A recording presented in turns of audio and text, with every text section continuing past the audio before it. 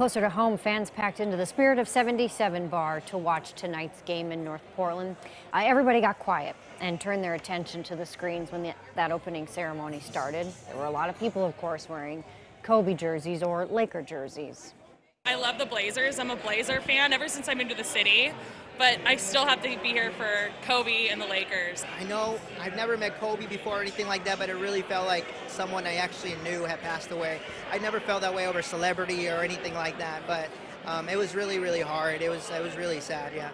There are a lot of people who are feeling that way tonight, and our sports reporter, Travis Teich, will have more on tonight's game, including more on the tributes and the highlights, coming up in about 30 minutes in sports. Still to